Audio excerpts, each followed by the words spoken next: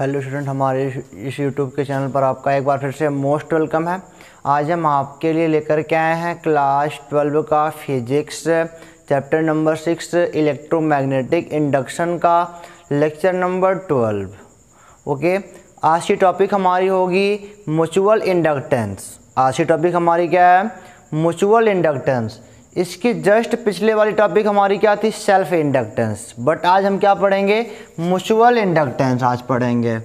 आज की हमारी टॉपिक है म्यूचुअल इंडक्टेंस इसकी हिंदी बताऊँ तो होती है अन्योन्य प्रेरण। अन्योन्य प्रेरण। और जस्ट इसके पीछे, थोड़ा सा रिकैप अगर हम करें तो हमने पढ़ा था सेल्फ इंडक्टेंस सेल्फ क्या होता था? स्व प्रेरण खुद से ही मोटिवेट होना। ठीक है ना? जैसे क्या था? थोड़ा सा मैं बताऊँ आपको। तो ये हमारे पास कोई क्वाइल था। और यहाँ पे हमारे पास ये प्राइमरी करंट था, जो कि वेरिएबल था इंक्रीज या डिक्रीज कर रहा था। अगर यह जो करंट है इंक्रीज कर रहा होगा, ठीक है ना? तो इस क्वाइल में सेल्फ इंडक्शन की वजह से एक, ऐसी करंट एक ऐसा करंट मतलब कि एक ऐसा करंट उत्पन्न होता था इंड्यूस होता था, जैसे आप इंड्यूस करंट कहते थे, जो कि अगर ये इंक्रीज कर रहा था तो यह वाला कहता था, मैं इनको डिक्रीज करूँगा। यानी कि इंड्यूस करंट इधर आपका बनता था। ठीक है? बट अगर मान लो हमारा प्राइमरी करंट जो हो वरिएबल तो हो बट डिक्रीज कर रहा हो लगातार। प्राइमरी करंट क्या कर रहा हो? डिक्रीज कर रहा हो। तो क्या कहता था? ये जो सारे क्वाइल्स हैं, इनमें एक सेल्फ इंडक्शन की वजह से एक मतलब कि इंड्यूस करंट पहले इंड्यूस ई बनता था, फिर करंट बना तो ये क्या करता था? लेंज के नियम से कहता था, मैं इसको सपोर्ट करूँगा। यानी कि इंड्यूस्ड करंट आपका इधर ही बनता था। ठीक है ना? तो लेंज साहब के नियम से हमने निकाला कि अगर इंक्रीज कर रहा होगा तो इंड्यूस करंट इनको डिक्रीज करेगा। अगर प्राइमरी करंट आपका डिक्रीज कर रहा होगा तो इंड्यूस इंक्रीज करेगा। सारी बातें पीछे हमने देखे थे। और आज हमारा है म्यूचुअल इंडक्टेंस अन्योन्य प्रेरण, पारस्परिक प्रेरण। यहाँ पे हमारे पास दो क्वाइल होंगे। ठीक है ना? हमारे पास यहाँ पे दो क्वाइल होंगे और हम एक में करंट देंगे, दूसरे में ऑटोमेटिक करंट बनेगा। यहाँ पे हमारे पास कितने क्वाइल होंगे? टू क्वाइल्स होंगे। और इसके जस्ट पीछे हमने सिंगल क्वाइल था सिंगल क्वाइल था। बट आज हम टू क्वाइल रख के बात करेंगे करंट के बारे में इंड्यूस्ड ईएमएफ के बारे में एंड इंड्यूस्ड करंट के बारे में। चलो देखो, मान लो ये हमारी पहली क्वाइल है, ऐसे, चलो, ए लगा दिया सेल वेरिएबल है, ठीक है ना करंट बढ़ाऊँगा बार बार ए करंट दिया यहाँ पे यहाँ पे करंट बना, चलिए कोई बात नहीं, और यहाँ पे हमने एक क्वाइल और लगाया। थोड़ा सा दूरी पर एक क्वाइल हमने और लगा, यहाँ पे लगा दिया गैल्वानोमीटर जो कि करंट को मापेगा। ठीक है ना? तो क्या देखा गया? देखिए, इसे हम बोलते हैं प्राइमरी प्राइमरी क्वाइल बोलते हैं। इसे हम क्या बोलते हैं? इसमें आप करंट दे रहे हो, उसे हम बोलते हैं प्राइमरी क्वाइल और जो बगल में रखा है ना, उसे हम क्या बोलते हैं? सेकेंडरी क्वाइल एक प्राइमरी क्वाइल है। और एक क्या है सेकेंडरी कॉइल प्राइमरी किसे कहते हैं? जिसमें आप करंट दे रहे हो प्राइमरी कॉइल होता है और जो बगल में रखा हो आपका सेकेंडरी कॉइल होता है। चलिए प्राइमरी कॉइल में हमने करंट देना शुरू किया और करंट दिया तो जो करंट था ना, वो वेरिएबल था। करंट कैसा था आपका? वो वेरिएबल था। वेरिएबल मतलब डिक्रीज भी कर सकता है इंक्रीज भी कर सकता है। वेरिएबल मतलब क्या? डिक्रीज भी कर सकता है और क्या हो सकता है? इंक्रीज भी कर सकता है। चलिए चलो मान लिया हमने इंक्रीजिंग करंट लिया। एक बात मान लो, चलो मान लिया हमने इंक्रीजिंग करंट ले लिया यहाँ पे। इंक्रीजिंग करंट लिया तो एक बात सुनो हमारी। इसमें तो करंट बनेगा बनेगा पुश करेगा करेगा। चलो मान लो करंट ऐसे फ्लो हो रहा है तो एक, अगर ये ऐसे फ्लो हो रहा है करंट सभी में क्वाइल में सभी क्वाइल है ना? ये सभी क्वाइल हैं। सब में करंट फ्लो हो रहा है और करंट फ्लो होने की वजह से करंट फ्लो होने की वजह से क्या बनेगा यहाँ पे? मैग्नेटिक फ़ील्ड बनेगा। अगर कवर करोगे तो एक मैग्नेटिक फ़ील्ड बनाएगा। और मैग्नेटिक फ़ील्ड बनाएगा, अगर ऐसे देखो, क्वाइल ऐसे रखा है, ध्यान दीजिएगा। क्वाइल ऐसे रखा है तो ये क्या बनाएगा? मैग्नेटिक फ़ील्ड इनवर्ट बनाएगा, अंदर की ओर जाएगा मैग्नेटिक फ़ील्ड। यानी कि सभी लोग ऐसे बनाएँगे मैग्नेटिक फ़ील्ड। यानी कि इनका भी मान लो करंट ऐसे ही आ रहा है, ऐसे आया ऐसे आया ऐसे आया ऐसे आया ऐसे आया ऐसे आया। चलिए सबका फ़ील्ड लाइन बनेगा। तो कुछ ऐसे गुजरेंगे ऐसे फ़ील्ड लाइन और आप जानते हो कि अगर ऐसे कुछ गुजरेगा ऐसे ए, ऐसे जो किसी होकर के जाएगा। अच्छा आप जानते भी हो कि फ़ील्ड लाइन तो गुजर रहा है। गुजरेगा बट फिर आके चुक्का चक्कर पूरा करेगा। एक चक्कर पूरा करेगा। ये इतना वही पर रखा है कि चक्कर पूरा करेगा तो इनसे होकर के कहीं आएगा इनसे होकर के कहीं आएगा। ठीक है ना? इनसे होकर के कहीं आएगा, फिर से मिल जाएगा, अपना चक्कर पूरा करता रहेगा। देखिए प्राइमरी क्वाइल में हमने करंट दिया, अभी इंक्रीजिंग करंट है। हमने क्या करा? प्राइमरी क्वाइल में आपको एक वेरिएबल करंट दिया।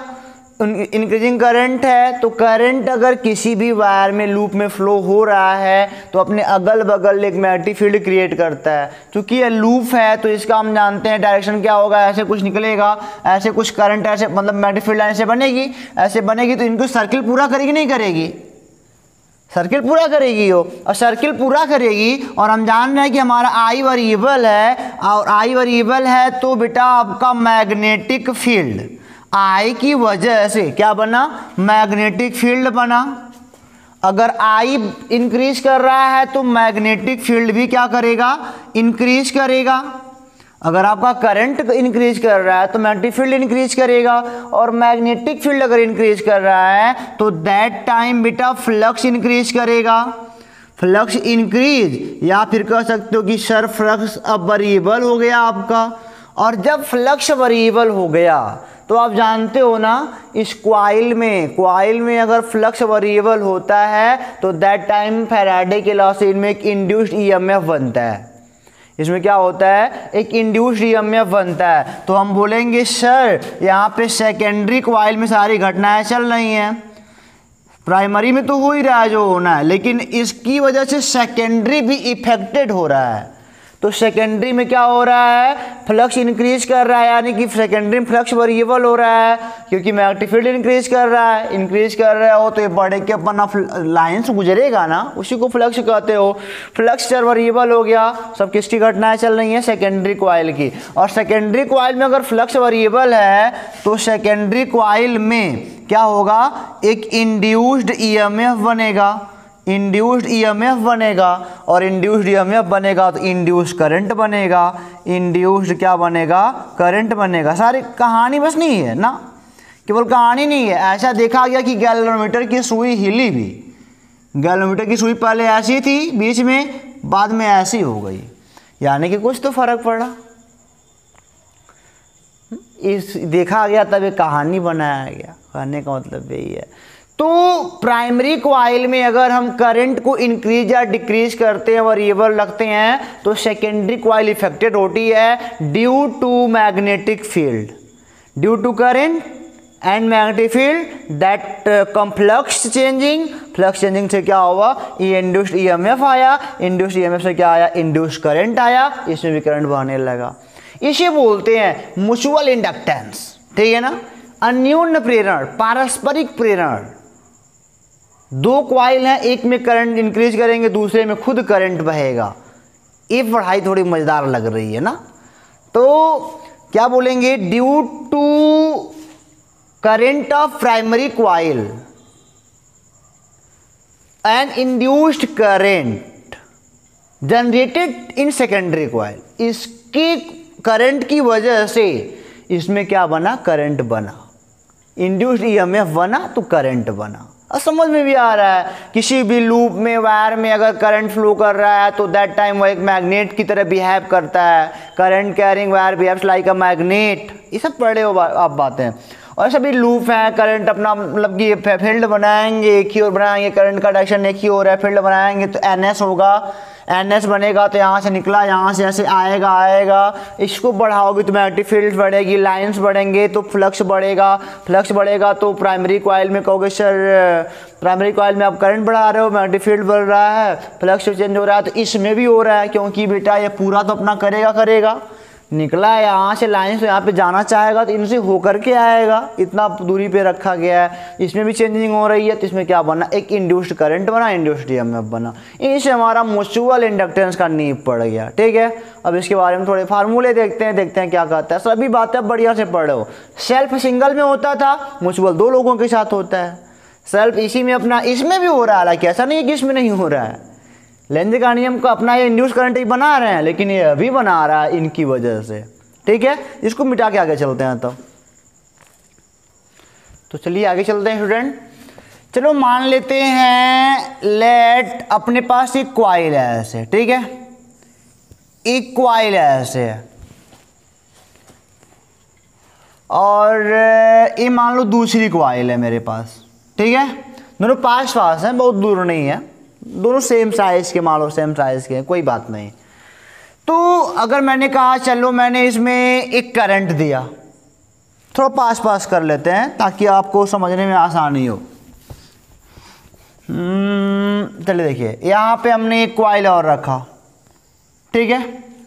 तो इसमें मैंने कहा कि एक करंट दो चलो एक करंट इसमें दो।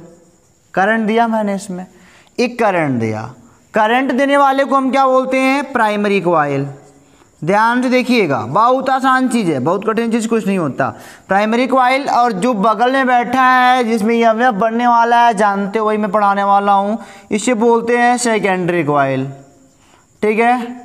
प्राथमिक क्वाइल यह है, जिसमें करंट फ्लो कर रहा है, और जो बगल में बैठा है, उसे बोलते हैं सेकेंडरी क्वाइल चलिए, मैंने बोला, अगर इसमें करंट फ्लो कर रहा है, ठीक है? अगर इसमें करंट फ्लो कर रहा है तो इसकी वजह से क्या बनेगा? मैग्नेटिक फ़ील्ड बनेगा फ्लक्स बनेगा। अगर करंट कांस्टेंट हुआ, मैं बता देता हूँ। If I is constant if current I is constant that no any phenomena कोई घटना नहीं घटेगी। सारा खेल बेकार है आपका। मैंने क्या बोला, अगर आपका आई कांस्टेंट है, चार एम्पियर लगा दे ही रहे हो चाह रहे हैं तो फिर कुछ नहीं, बस देखते रहोगे रह जाओगे, शाम हो जाएगी, कुछ मिलने वाला नहीं है आपको। बट बट बट ध्यान दीजिएगा अगर बट इफ़ और इसे आई वन बोल लो, प्राथमिक क्वाइल है प्राइमरी है तो इसे आई वन दो थोड़ा आगे पढ़ने में और मज़ा आएगा।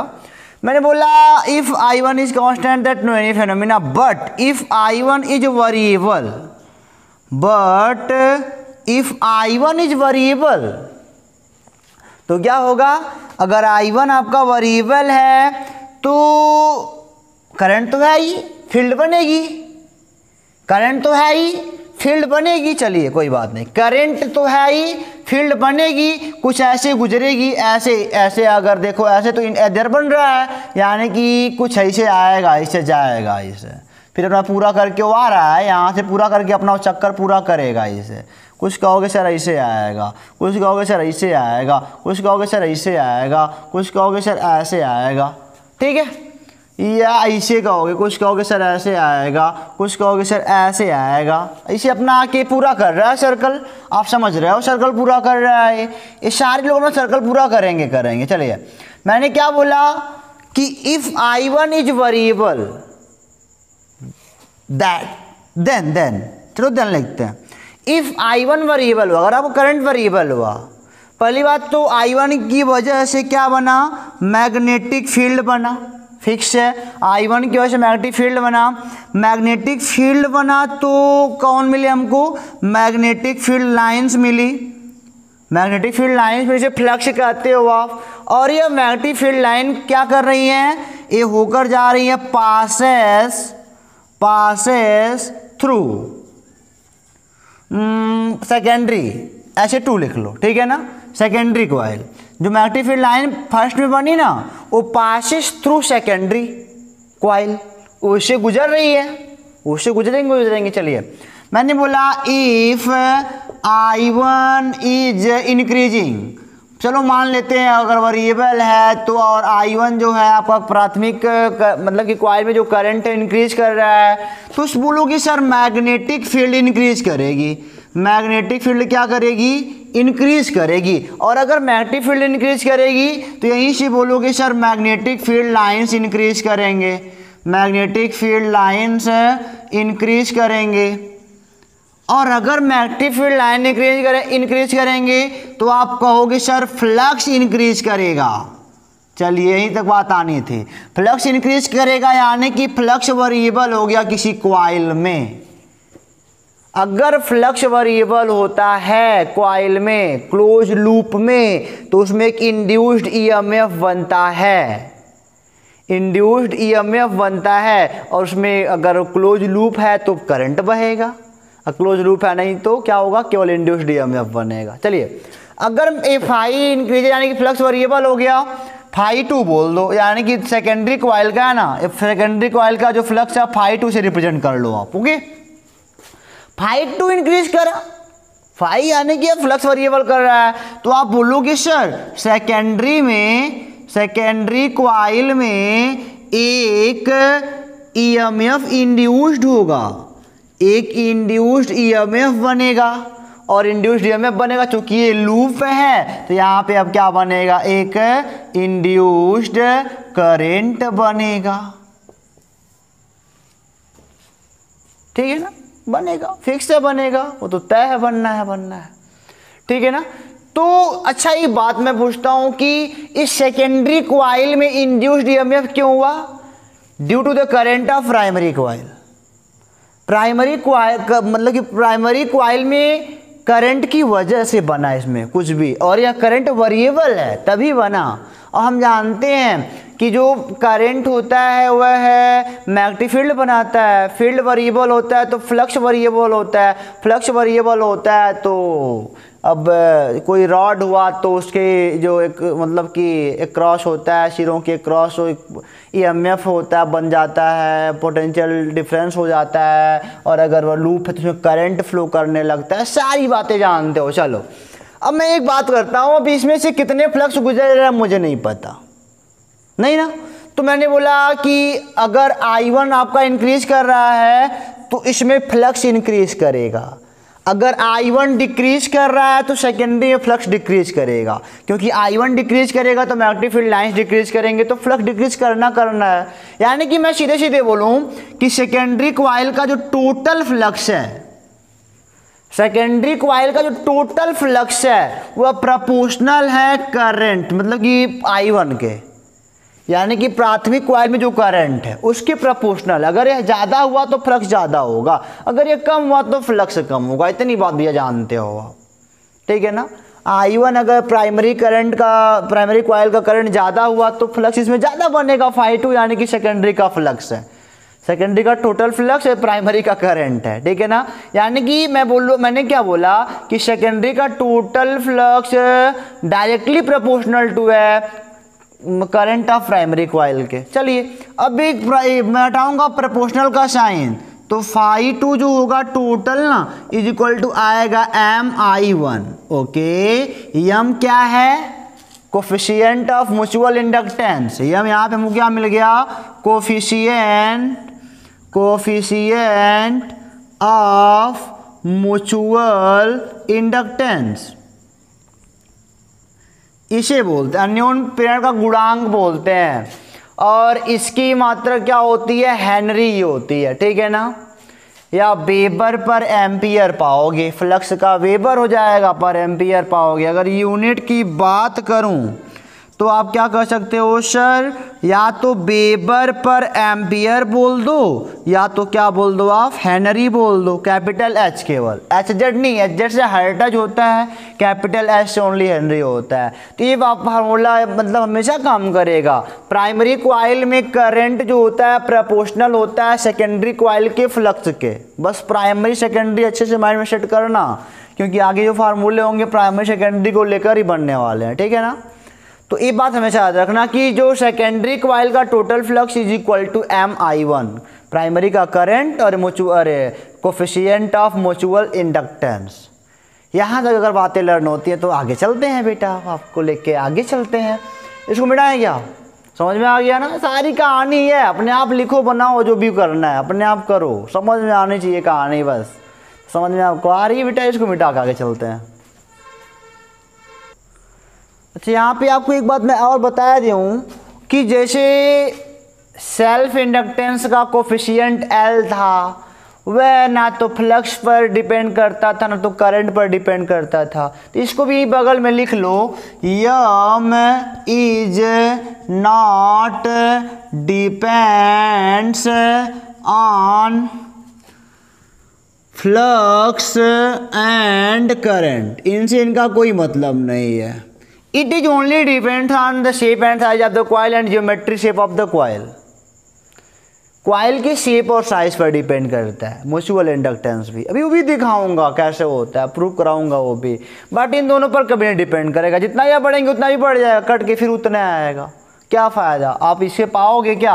M बराबर आप पाओगे five two total upon I one इसको दोगुना करोगे, अभी दोगुना होगा, फिर वही मिल गया। तिगुना करोगे अभी तिगुना होगा, फिर वही मिल गया। आधा करोगे, अभी आधा हो जाएगा, कट के फिर वही मिल जाएगा। तो m is not depends on flux and current कुछ भी उस पर नहीं डिपेंड करता है। But M is depends on only the shape and size of the coil okay note कर लो इस बात को। अब आगे चलते हैं। तो अभी आपने देखा क्या स्टूडेंट की फाइव टू जो है ना टोटल यानी कि सेकेंडरी क्वाइल का flux is equal to M I one M क्या है?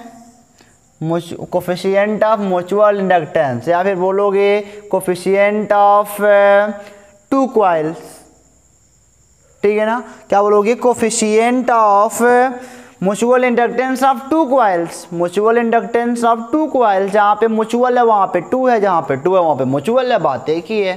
तो ये हमको ऐसे ही बोल सकते हो mutual inductance mutual inductance of two coils बोल सकते हो बड़े आराम से।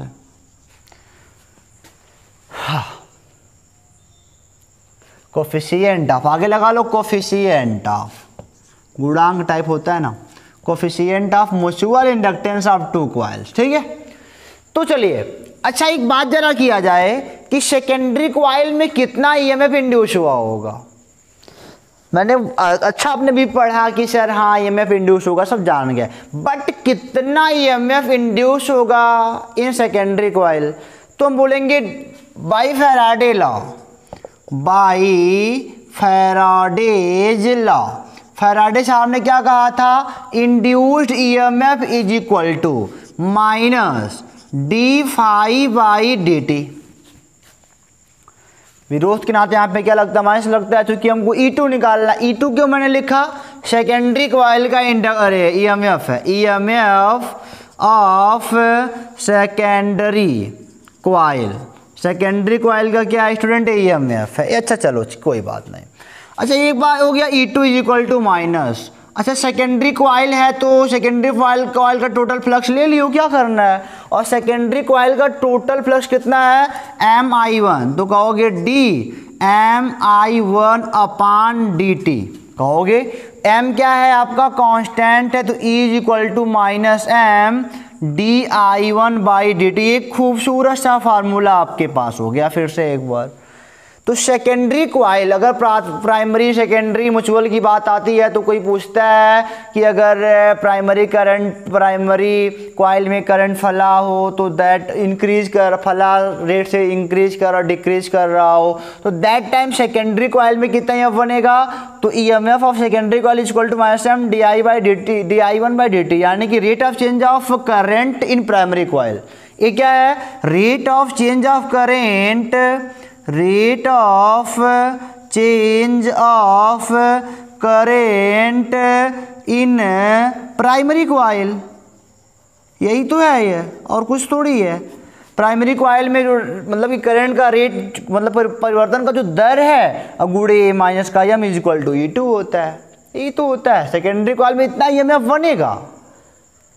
अब रेट ऑफ़ चेंज होता है, चार एम्पियर पर सेकेंड होता है कि दो एम्पियर पर सेकेंड होता है कि चार एम्पियर पर मिनट होता है, उसकी क्वेश्चन के ऊपर डिपेंड करता है ओके इसको अगर मैं केवल मान मान लिखूं तो ई टू इजक्वल टू क्या पाओगे?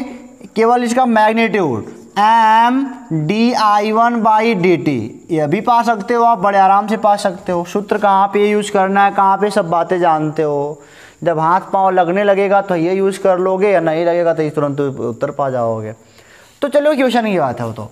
अब मैंने बोला, इसे हम ऐसे भी लिख सकते हैं कि m is equal to E two upon D I one by D T ये पूरा मॉड में डाल दो, कोई बात नहीं है। ऐसे ही बन जाएगा। अब यहाँ से हम एक चीज़ पाएँगे। वह चीज़ क्या होगी? Definition of mutual induct coefficient of mutual inductance M definition पाएँगे हम एम का। हम बोलेंगे definition of M definition of M बता दियो क्या होता है भैया? डिफिनेशन ऑफ़ एम क्या होता है? तो अब मैं बताऊँ क्या होता है? इफ़ लिख ध्यान से देखना, याद करने वाली कोई बात नहीं है।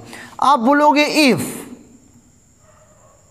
rate of change of current if the rate of change of current the rate of change of current in primary coil in primary coil. चलो, अभी छोड़ता है, मैं आगे चलता है। मान लो, मैं आपसे कह दूँ कि D I one by D T मान लो वन एम्पियर पर सेकेंड रहा हो। चलो, यानी कि पर सेकेंड में वन एम्पियर की दर से इंक्रीज कर रहा हो। प्लस लगा तो इंक्रीज ही बता रहा होगा। तो आप कहोगे सर एम बराबर ई टू आ जाएगा। आया कि नहीं आएगा? वही मैं लिख रहा हूँ यहाँ पे। If the rate of change of current in primary coil one ampere per second one ampere per second that time that time coefficient of mutual inductance of two coils coefficient of mutual inductance of two coil capital M is equal to is equal to बराबर होता है। Induced EMF in secondary coil induced EMF of secondary coil due to जो मतलब कि यहाँ पे आगे लिख सकते हो due to generate generate due to the current of primary coil इसमें ई क्यों बना होगा?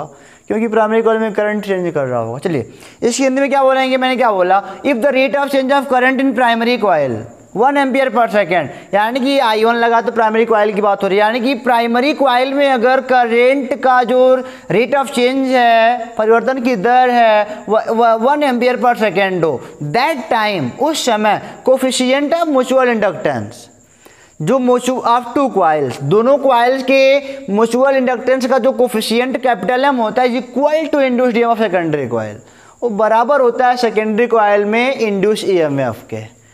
अगर क्या हुआ?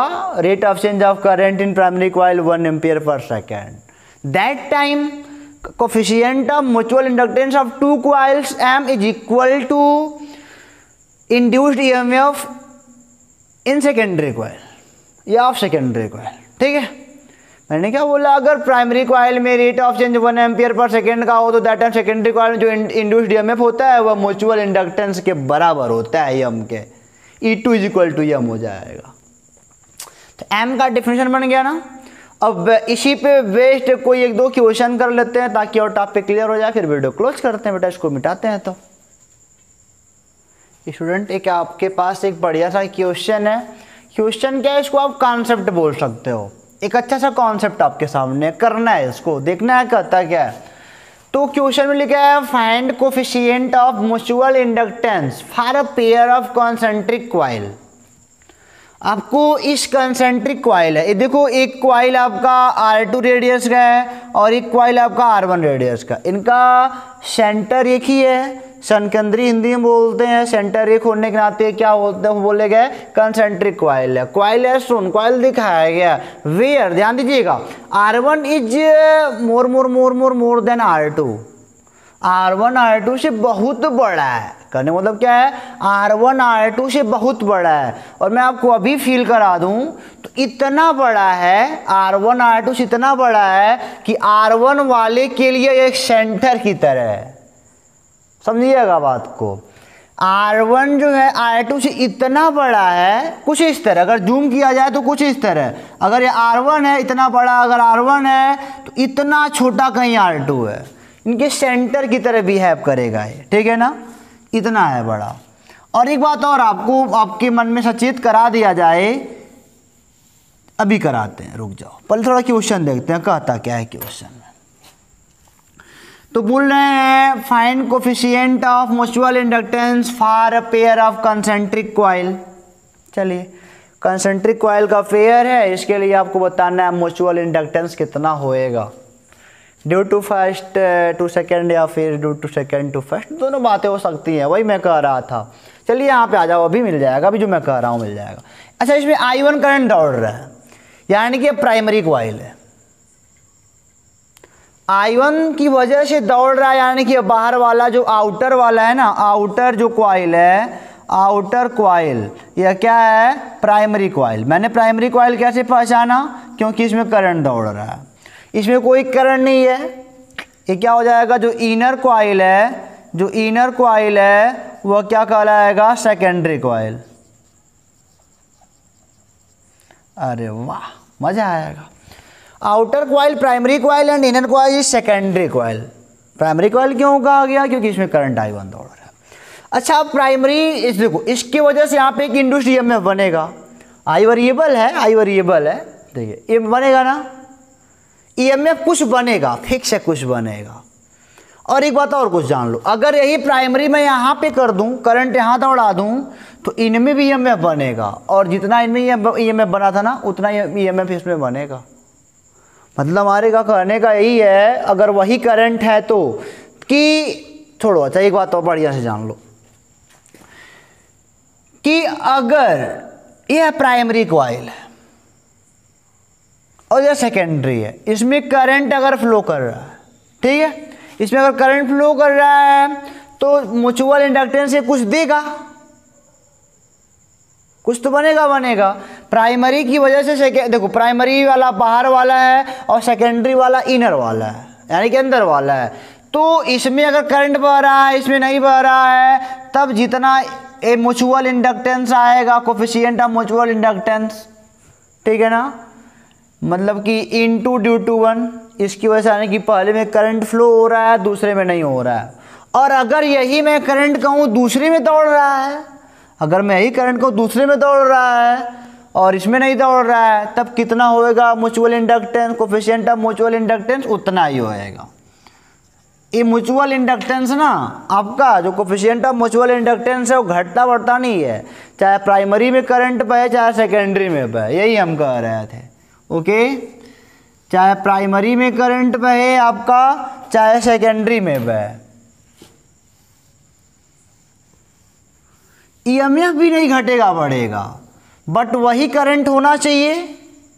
इसमें बना ईएमएफ इसके बराबर होगा। चाहे इसमें करंट बहे, चाहे इसमें बहे। क्योंकि आप जानते हो induced EMF is equal to D five I D T परिवर्तन, देखो चेंजिंग इसी की तो है फाई देखो अगर उतना ही करंट रहेगा, जितना इसमें करंट बह रहा है, उसमें ये मैं बन रहा है। यही करंट मैं इसमें दौड़ रहा हूँ इसमें ये मैं पूछूँ तो उतना ही बनेगा, क्योंकि परिवर्तन तो वही है ना, वही करंट है तो मैग्नेटिक फ़ील्ड वही परिवर्तन करेगा फ्लक्स उतना ही परिवर्तन होगा तो दैट टाइम एम बराबर होगा। म्यूचुअल इंडक्टेंस ही बराबर होगा, ये बातें आप ध्यान दीजिएगा। छोटी छोटी बातें हैं, पर अच्छी अच्छी बातें हैं। इन सब बातों को अपने कॉपी में नोट करिएगा, अपने माइंड में भी नोट कर लीजिएगा, ठीक है? तो मैंने क्या बोला कि आउटर वाला हमारा क्या है? प्राइमरी क्वाइल है और इनर वाला क्या है हमारा? सेकेंडरी क्वाइल है। देखो प्राइमरी क्वाइल में आई वन की वजह से, ध्यान दीजिएगा, मैं यहाँ पे लिखता हूँ। प्राइमरी क्वाइल में आई वन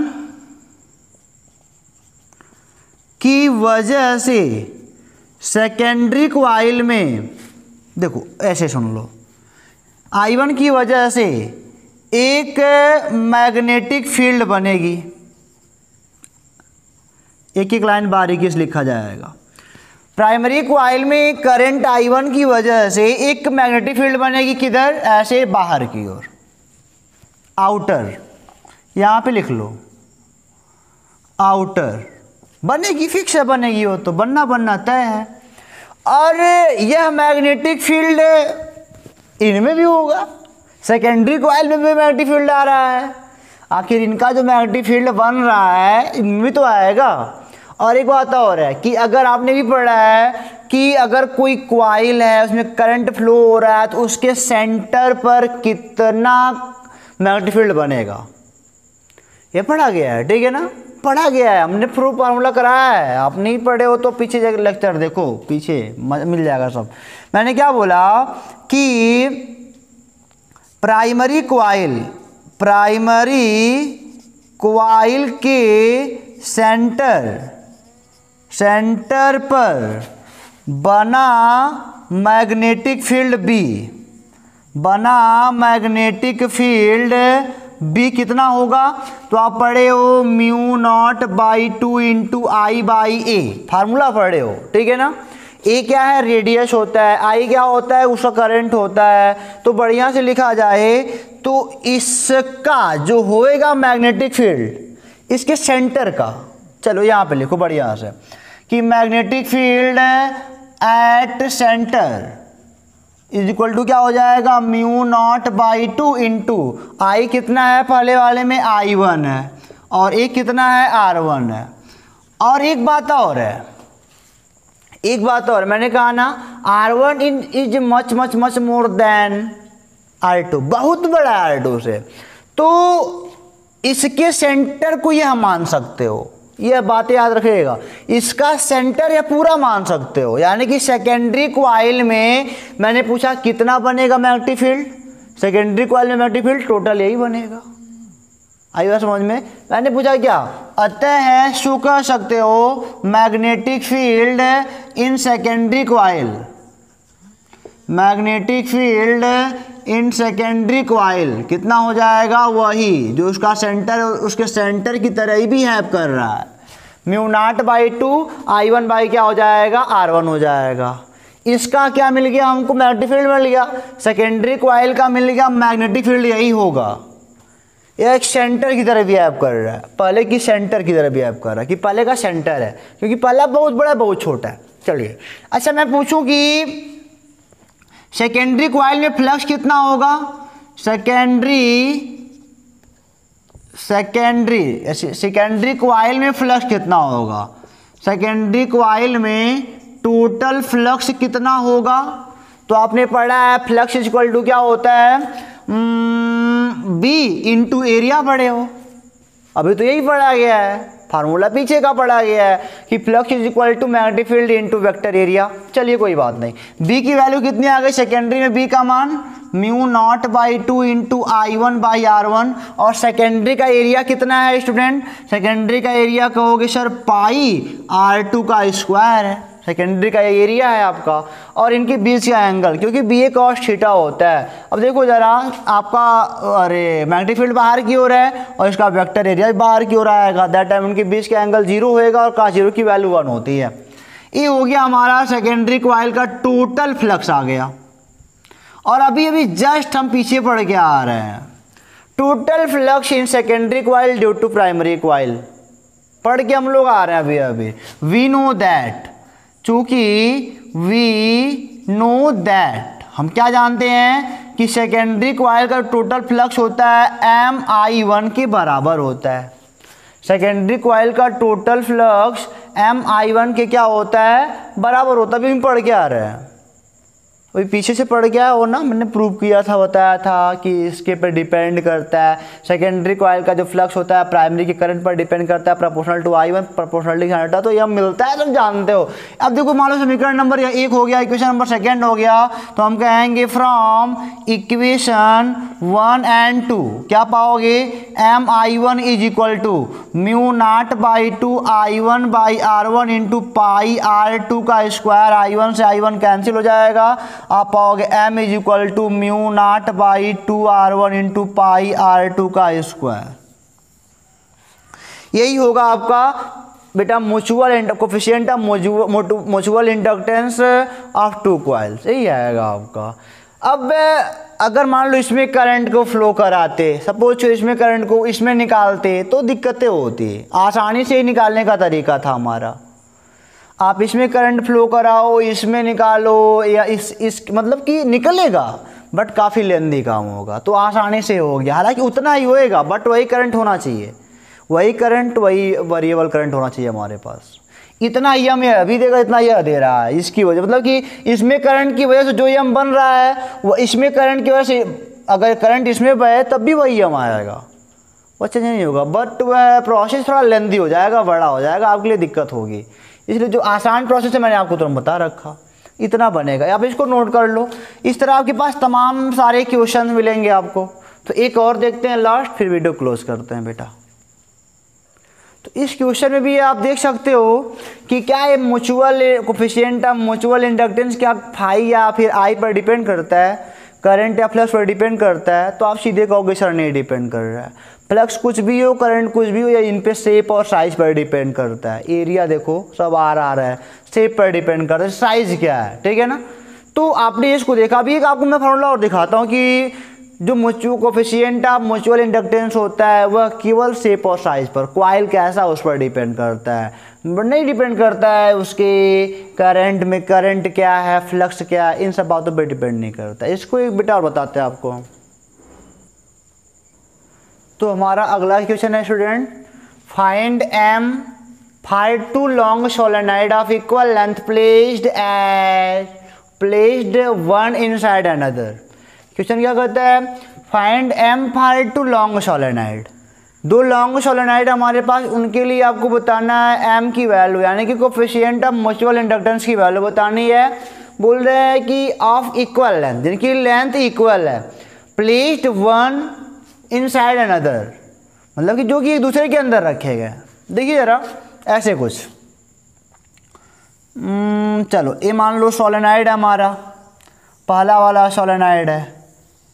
सेम एरिया का है सबके एरिया सेम है। जब भी क्वाइल देख रहे हो ना सेम एरिया के है। और इसके अंदर इसके अंदर एक सोलेनाइड और है। जो कि उनसे छोटा है उनके अंदर ही है। इनसाइड है ना देखो। लेंथ hmm, दोनों की इक्वल है। अगर मान लो ये इसमें मैंने आई वन करंट दौड़ा दिया तो ये प्राइमरी बन गया। प्राइमरी क्वाइल हो गया। आई वन करंट दौड़ा दिया तो ये क्या बन गया? प्राइमरी क्वाइल बन चुका है अब। इसमें कितना करंट फ्लो और सॉरी प्राइमरी क्वाइल बन चुका है। चलिए इसका लेंथ है यल और इसकी जो रेडियस है क्वाइल की जो रेडियस है मान लो आर वन है ठीक है? यल लेंथ है आर वन रेडियस है और number of terms of a है एन वन मान लेते हैं एन वन इन एन का मतलब क्या? Number of turns of per unit length per unit length क्योंकि एन वन है तो क्या बता रहा है कि प्राइमरी क्वाइल की बात बात कर रहा हूँ, ठीक है? चलिए। सेकेंडरी क्वाइल ये वाला आपका बनेगा। इसे आप बोलोगे कि ये हो जाएगा, इसका लेंथ मान लो एल है, इसका रेडियस मान लो आर टू है, और जो number of length number of turn of per unit length है, वो मान लो बेटा आपका एन टू है, ठीक है ना? चलिए, कोई बात नहीं। प्राइमरी क्वाइल देखा सेकेंडरी क्वाइल देखा, हमको निकालना है दोनों के लिए म्यूचुअल इंडक्टेंस यानी coefficient of mutual inductance find out करना है। चलिए। अच्छा आप जानते हो कि यह वेरिएबल आई वन वेरिएबल है, कि सोलेनाइड की वजह से उसके एक्सिस के अलॉन्ग उसके एक्सिस के अलॉन्ग आप जानते हो पूरा इसके जो सेंटर से होकर जाता है, पूरा सेंटर से होकर के जाता है। और यहाँ भी वही हाल है R one is more more more greater than R two ठीक है? चलिए, अब मैंने बोला कि अच्छा बताओ प्राइमरी क्वाइल की प्राइमरी क्वाइल्स है, या सोलेनाइड कह सकते हो, यानी कि magnetic field due to primary primary coil या फिर सोलेनाइड बोलो। कितना बनेगा? इसके एक्सिस के लॉन्ग इसके अंदर बनता है, बाहर तो बनता नहीं है। अच्छा अपनी बातें सोचा होगा कि सर इसमें दौड़ा के इसमें निकाले होते ऐसा भी निकाल सकते हो, दोनों का यम बराबर आएगा। तो कुछ अलग नहीं आएगा। बट इसको दौड़ाओगे तो आप बाहर जानते हो कि इसमें अगर करंट दौड़ेगा तो बाहर मैग्नेटिक बनती नहीं है। सोलेनाइड के बाहर कोई मैग्नेटिक नहीं बनती है। अंदर ही बनती है तो दिक्कत होगी। इसलिए इसमें दौड़ा, इसमें काम करो। B one due to primary coil यानी कि sorry B B due to primary coil यानी कि प्राइमरी क्वाइल की वजह से मैग्नेटिक कितना बनेगा? Mu naught mu naught N I बनता है। ठीक है ना? और चूँकि पहला वाला है तो यहाँ पे क्या हो जाएगा? एन वन हो जाएगा, और पहले वाले में करंट कितना हो जाएगा? आई वन हो जाएगा। ओके यहाँ तक बात क्लियर है? यानी कि बी यानी कि मैग्नेटिक फ़ील्ड भी due to primary coil primary coil की वजह से जो मैग्नेटिक फ़ील्ड इसके अंदर बनी ना एक्सिस के अलॉन्ग ही बनती है। एक्सिस के अलॉन्ग ही बनती है एक्सिस के अलॉन्ग यहाँ पे लिख सकते हो अलॉन्ग द एक्सिस एक्सिस के अलॉन्ग बनती है। यानी कि mu naught N one, I one. अब यही मैग्नेटिक फ़ील्ड इनका है। वही सेकेंडरी क्वाइल का मैग्नेटिक फ़ील्ड है। इसे हम कह सकते हैं we can say that we can say that magnetic field of secondary coil magnetic field of secondary coil